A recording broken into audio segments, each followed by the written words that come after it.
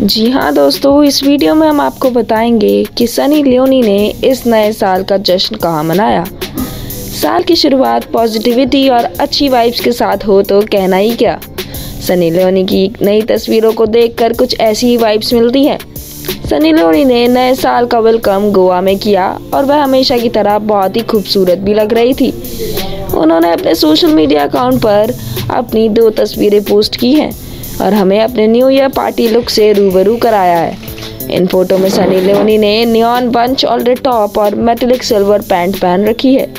Sunny Leone ने तस्वीर को कैप्शन देते हुए लिखा, गोवा में सुपर फन नाइट जैसी उम्मीद थी, उनके फैंस ने एक्ट्रेस की तारीफ़ करने के लिए कमेंट सेक्शन में कोई कमी नहीं छोड़ी।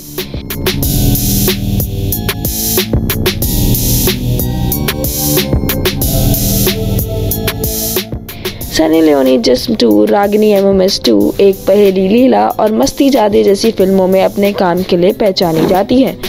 उन्होंने टेलीविज़न रियलिटी शो में भी काम किया है और अभिनेता रणविजय सिंह के साथ dating reality show M T V Splitsvilla की मेज़बानी की है।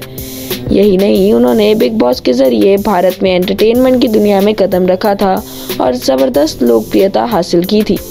आने वाले समय में उन्हें साउथ के कई बड़े प्रोजेक्ट्स में देखा जा सकता है, जिसमें स्पेशल सॉन्ग से लेकर लीड रोल तक शामिल है। ऐसी इंटरेस्टिंग वीडियोस पाने के लिए हमारे चैनल को जल्दी से सब्सक्राइब कर लें।